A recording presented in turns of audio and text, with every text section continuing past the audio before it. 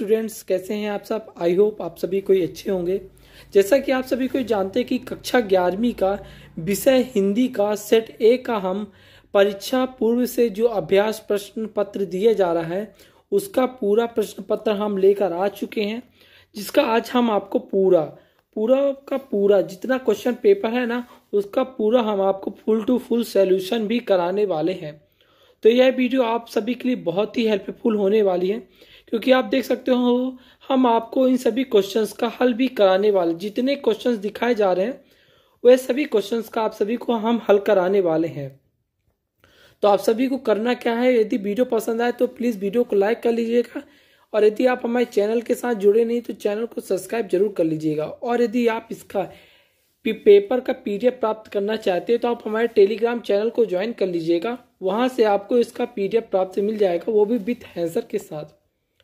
तो जैसा कि आप जानते हैं कि कक्षा ग्यारहवीं के सेट ए का, हिंदी का, सेट ए का क्वेश्चन पेपर हमारे पास आ चुका है, जिसका हम पूरा सोल्यूशन करके आप सभी को दिखाने वाले हैं।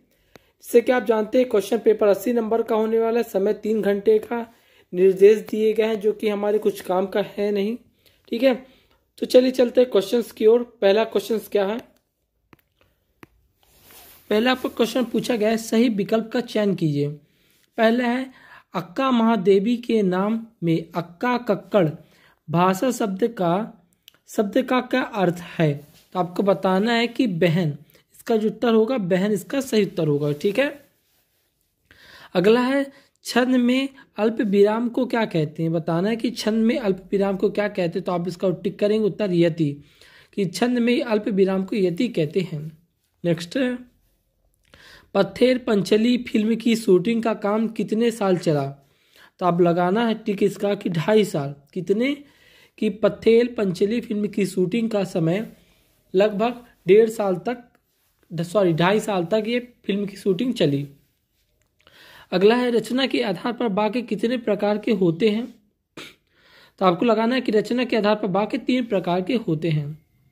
अगला है कुचिपुड़ी नृत्य का संबंध किस राज्य से है? तो आप लगाओगे है कुचिपुड़ी नृत्य का संबंध आंध्र प्रदेश। कहाँ से? आंध्र प्रदेश से है। ठीक है? इसके बाद आता है आपका नेक्स्ट है। सर्कुलर को हिंदी में क्या कहते हैं? तो आपको बताना है कि सर्कुलर को हिंदी में परिपत्र, क्या कहते हैं? परिपत्र कहते हैं। अगला है रिक्त स्थानों की पूर्ति कीजिए, जिसे पहला पूछा गया है। रीति काल का प्रमुख रस है। तो आपको बताना कि रीति काल का प्रमुख रस कौन सा? श्रृंगार रस। कौन सा? श्रृंगार रस इसका सही उत्तर होगा। ओके? अगला है, पेट में चूहा कूदना में बिंदी बिंदी शब्द शक्ति है। तो आप लगाना कि पेट में चूहा कूदना में लक्षणा शब्द शक्ति है। कौन सा? लक्षणा शब्द शक्ति है। ठीक है? इसके बाद है, मियाँ नसरुद्दीन बिंदी बिंदी के मसीहत है। किसके मसीहत है? तो आपको लगाना है कि जो मियाँ नसरुद्दीन थे वो ननाबाइयों के मसीहा थे। किसके? ननाबाइयों के मसीहा थे। ठीक है? अगला है संस्कृत भाषा में हिंदी के बिना परिवर्तन में किए शब्द बिंदी कहलाते। तो आपको लगाना इसका तत्सम। तत्सम इसका सही उत्तर हो जाएगा। ठीक है छात्रों? अगला है कुई को खुदाई का काम। कि क्या बोला है कि कुई की खुदाई का काम बिंदी बिंदी कहलाता है। तो आप लगाना है इसका चिंजा, क्या? चिंजा इसका सही हो जाएगा। क्या हो जाएगा? चिंजा। कि कुई की खुदाई का काम को क्या कहते हैं? चिंजा कहते हैं। अगला है, हिंदी का पहला साप्ताहिक पत्र है। तो आपको बताना हिंदी का पहला साप्ताहिक पत्र उरंड मारतंड, क्या? उतंड मारतंड हिंदी का पहला साप्ताहिक पत्र होगा। ठीक है छात्रों? इसके बाद आता आपका सत्य असत्य का चयन कीजिए। ठीक है ना? सत्य असत्य आपको लगाना। तो पहला निर्माता पुतुल का जन्म आदिवासी परिवार में हुआ था तो आपको लगाना है जी सत्य, ठीक है? अगला है छंदों में गढ़ों की संख्या ना होती तो आप लगाओगे ठीक असत्य, क्या असत्य? तीसरा है गलत, गलता लोहा पाठ में लेखक शेखर जोशी हैं तो आप लगाओगे जी सत्य, ओके? अगला है प्रत्यय किसी शब्द या शब्दांश के पहले प्रयोग होता है तो आप लगाओगे असत्य। अगला है गुप्त काल कलाओं का स्वर्ण युग कहलाता है तो आपको लगाना है जी सत्य। क्या? कि गुप्त काल कलाओं का स्वर्ण युग कहलाता है। अगला है, सरकारी पत्र अनौपचारिक पत्र की श्रेणी में आते हैं तो आपको लगाना है कि सरकारी पत्र अनौपचारिक पत्र की श्रेणी में नहीं आते। आपको इस प्रकार सत्य लगाना है। ठीक है छात्रों? इसके बाद आता है आपका सही जोड़ी। ठीक है, सही जोड़ी बहुत ही महत्वपूर्ण आपका है। कि पहला है महादेवी प्रसाद, महावीर प्रसाद द्विवेदी, ठीक है ना? कि महावीर प्रसाद द्विवेदी किस युग से संबंधित हैं? आप लगाओ कि महावीर प्रसाद द्विवेदी द्विवेदी युग से संबंधित, किससे? द्विवेदी युग से संबंधित है, ठीक है? अगला है तार सप्ताहक, ठीक है? से मन्नू भंडारी तो आपको लगाना है कि मन्नू भंडारी का संबंध मैं हार गई। किसे? मैं हार गई का संबंध मन्नू भंडारी से है। अगला है अनुपम मिश्रा। अनुपम मिश्रा का संबंध किसे? राजस्थान की रजत बूंदे किसे? राजस्थान की रजत बूंदों से है। और इसके बाद जो ये प्रश्न क्रमांक दो हो गया, चार हो गया, पाँच हो गया, और छह। इसका आंसर हम आपको वीडियो क्लास में बताने वाले हैं तो आपको वीडियो को अंत तक देखना है। ठीक है? कोई जल्दबाजी नहीं करेंगे, तभी आप पेपर में अच्छे से अच्छा नंबर प्राप्त कर सकेंगे। ठीक है छात्र इसके बाद आता है आपका एक वाक्य में, कितना एक प्रश्नों का एक वाक्य में उत्तर आपको देना है, ठीक है? तो चलिए चलते, पहला है, अक्कम देवी के आराध्य देव का नाम लिखिए तो आपको लिखना है शिव, क्या होगा? शिव इसका राइट आंसर हो जाएगा, छात्रों। अगला है, पंडित राज जगन्नाथ के अनुसार काव्य की परिभाषा लिखिए तो आपको लिखना है, रमणीयार्थम प्रतिपादक शब्द काजम, ठीक है ना? इनका ये उत्तर हो जाएगा। अगला है, किसान समानता भारत माता का अर्थ लेते हैं, लेते थे तो क्या? भूमि, ठीक है ना? ज़मीन को वो भारत माता मानते थे, ठीक है? अगला है, भारत मित्र के संपादक का नाम लिखिए तो आप लगाएँगे, पंडित हर मुकुंद शास्त्री, क्या? पंडित हर मुकुंद शास्त्री, इसका रही उत्तर हो जाएगा। अगला है, बाएँ हाथ के धनुधर को क्या कहते हैं? एक शब्द में लिखिए तो आप लगाना सरल सोची, क्या सरल सोची, इसका उत्तर हो जाएगा।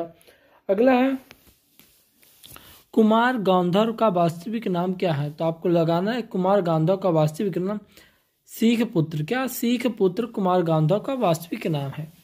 अगला आता है आपका, संपादक के लिए तैयार पालन किए जाने वाले एक सिद्धांत लिखिए। तो आप ये सिद्धांत अपने से लिख लीजिएगा। और यदि किन्हीं विद्यार्थियों को इनका सिद्धांत लिखने में दिक्कत होती है तो आप हमें कमेंट सेक्शन पे कमेंट कर सकते हैं। टेलीग्राम पे आप हमसे कांटेक्ट करके बोलिए, हम आपको इसका आंसर भी बता देंगे। और जहाँ तक है, इसका आंसर आपको टेलीग्राम में ऑलरेडी प्रोवाइड कर, हमने कर देते हैं। आपके बिना बोले ही। तो यहाँ से चलिए, चलते हैं प्रश्न क्रमांक छह से प्रश्न क्रमांक आपका, कहाँ तक? तेईस तक। ठीक है, छात्रों? तो प्रश्न क्रमांक छह है। निर्गुण भक्ति धारा को दो विशेषता बताते हुए कवियों के नाम अथवा नई कविता की दो विशेषता एवं दो कवियों के नाम लिखिए।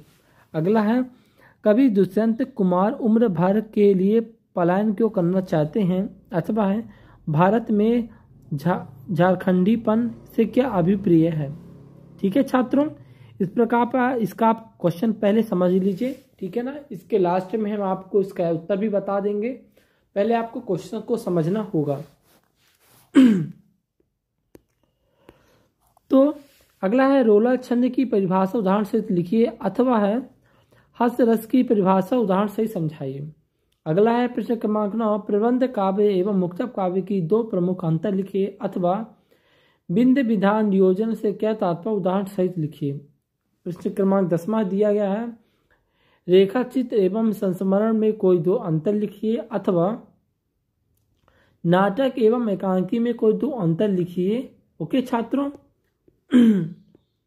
अगला है, संवेदनशील मामलों में बड़े अफसरों की राय लेना कहाँ तक ठीक है लिखिए। आपको लिखना है। इसके बाद आता है आपका, भारत की चर्चा नेहरू जी कब और किस, किससे करते थे? अगला आपका प्रश्न क्रमांक बारह है।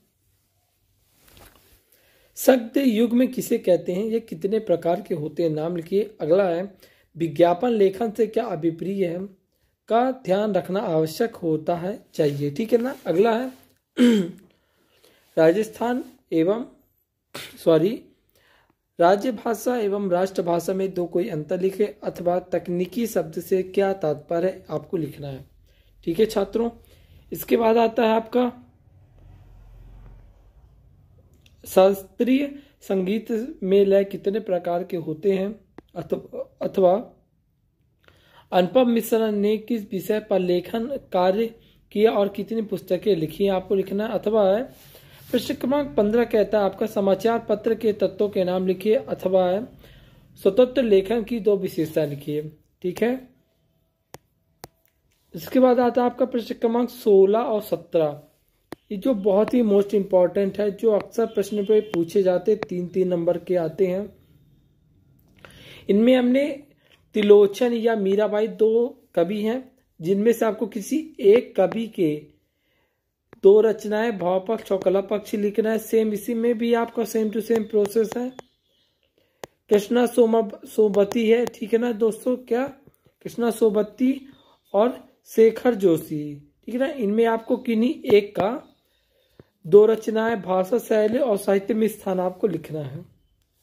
हो जाएगा इस तरह आपसे। अठवें में आपका भी यही लिखना है, भाव पल्लवन करने है आपको एक टॉपिक दे दिया गया पर भाव पल्लवन कीजिए इसका। मतलब इस डिटेल को आप इस जो एक शब्द दिया गया ना वाक्य, इसे आप डिटेल में लिखना है, ठीक है?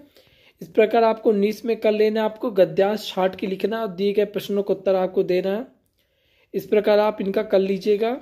ठीक है, पढ़ लीजिएगा छात्रों। सेम इक्कीस में भी आपको यही करना है, आपको दिया गया पद्यांश है, ठीक है ना? ये आप कुछ पद्यांश दिए गए, अथवा है, दो पद्यांश है। आपको जो सब पद्यांश सिंपल लगे, आप किसी एक पद्यांश पे आपको संदर्भ, प्रसंग और विशेष उसके सहित व्याख्या भी आपको लिखना है। अब आता है, ये दो क्वेश्चन बहुत ही ज़्यादा मोस्ट इंपॉर्टेंट जो अक्सर हर एग्जामों में पूछे जाते हैं। चाहे वो आप ग्यारहवीं पढ़ो, चाहे आप बारहवीं पढ़ोगे तो भी पूछे जाएँगे। पहले नगर पालिका अध्यक्ष को नियमित साफ़ सफ़ाई न होने पर शिकायत पत्र लिखना है ठीक है, अथवा है राज्य स्तरीय बाल रंग में स्वचरित काव्य पाठ प्रतियोगिता में प्रथम आने पर अपने मित्र को बधाई पत्र लिखना है, ठीक है? इसके बाद यहाँ पर आपको कोई पाँच टॉपिक दिया गया, इस पे आपको रूपरेखा सहित आपको एक निबंध लिखना है किसी एक टॉपिक पर। तो इस तरह, दोस्तों, आप देख सकते हो, आपको मैंने क्वेश्चन को पूरी तरीके समझा दिया है। यदि किसी विद्यार्थी को इसका उत्तर प्राप्त नहीं होता है तो आपको करना क्या है? आपको साधारण से घबराना नहीं है। पहले जाके आपको हमारा टेलीग्राम चैनल ज्वाइन कर लेना है। वहाँ से आपको वैकल्पिक क्वेश्चन तो मैंने करा दिए। आपको उसको दो नंबर के, तीन नंबर के जितने प्रश्न, उन सभी का आंसर आपको वहाँ से प्राप्त हो जाएगा। तो दोस्तों, इस प्रकार से आपको आज के पेपर का मैंने आपको पूरा फुल टू फुल सोल्यूशन करा दिया है। आने वाले जितने भी एग्ज़ाम होंगे, उसके लिए आप हमारे चैनल को सब्सक्राइब कर लीजिएगा, ताकि जितने भी एग्ज़ाम आपके होने वाले हैं, उन सभी का आपको एग्ज़ाम का आंसर हम आप सभी को प्रोवाइड करा सके और बहुत आसानी से आपको आपके एग्ज़ाम की तैयारी करा सके। So thanks for watching my video